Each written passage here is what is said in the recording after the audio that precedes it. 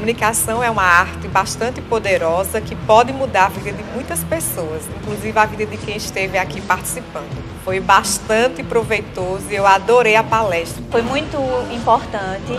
Acredito que vai me trazer ótimos retornos profissionais e também pessoais, sempre buscando novas experiências, conhecendo novas pessoas e também melhorando na minha comunicação